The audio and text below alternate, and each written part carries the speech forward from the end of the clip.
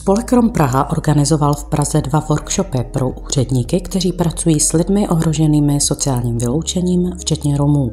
Cílem školení je předat zkušenosti některých městských částí a odborníků z neziskového sektoru a posilit tak vědomosti a kompetence úředníků v tématech sociálního vyloučení, bydlení, vzdělávání a zaměstnávání. Workshopy, příručka i setkávání v rámci platformy jsou součástí projektu Společně rozvíjíme romskou občanskou společnost, financovaného z norských fondů. Rada, která se zabývá tou strategií a snaží se ji implementovat.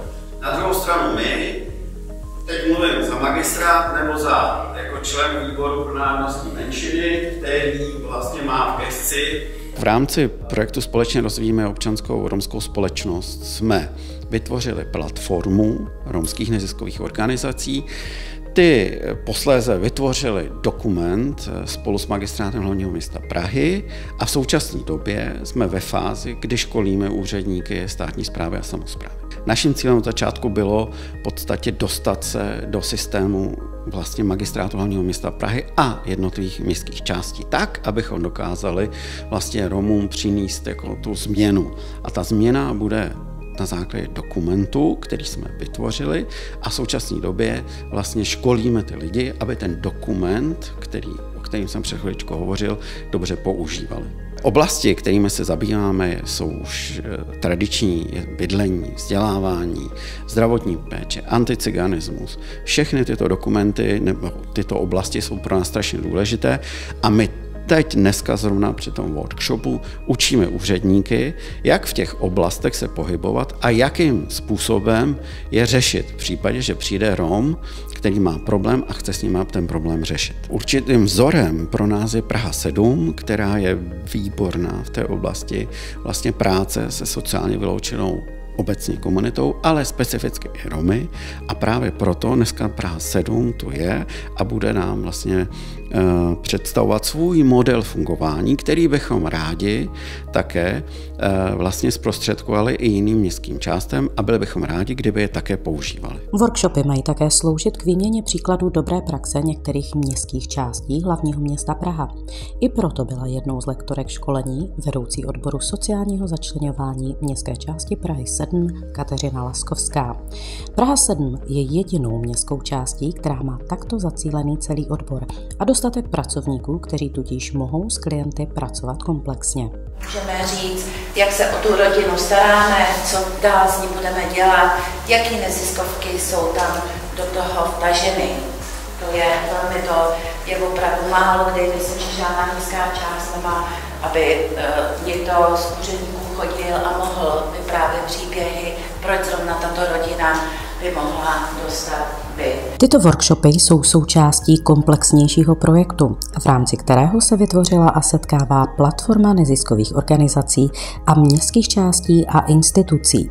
Dalšími výstupy jsou právě workshopy a vytvoření materiálů, který poslouží dalším úředníkům a zájemcům. Rom Praha je platforma spolupracujících organizací na území Prahy. Náš spolek Rom Praha zastřešuje neziskové organizace na území hlavního města Prahy, s kterými dlouhodobě spolupracuje, setkává se, řeší různé problémy a vyměňují se informace.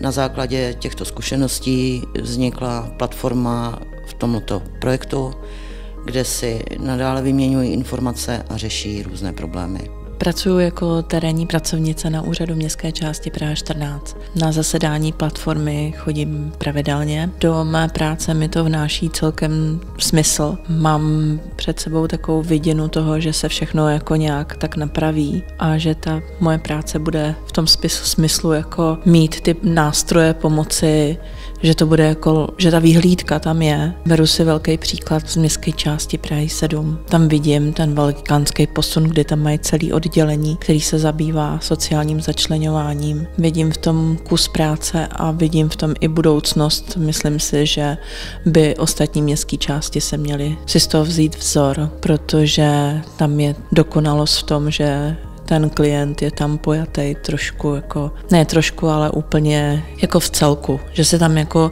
řeší úplně všechno, že když jako dostanou toho klienta, tak tam řeší od A do Z úplně všechno a že, že, tam, že ho mají podchycenýho. A to by se mi moc líbilo, kdyby to bylo u nás na městské části. Dnešní workshop byl vůbec jako přínosný eh, v tom, že jsme tady měli jednotlivý vlastně eh, zástupce na jednotlivých městských částech a kdy hlavním vlastně cílem bylo nějakým způsobem představit těm eh, přítomným zástupcům vlastně eh, tu schválenou strategii romské integrace v hlavním, v hlavním městě Praze, takže v tom vidím, v tom vidím ten hlavní vlastně jako přínos. Já teda zastávám pozici vlastně specialisty národnostních menšin na území hlavního města Prahy, kde mám na starost eh, vlastně eh, ten dotační program zaměřený na národnostní menšiny eh, v Praze.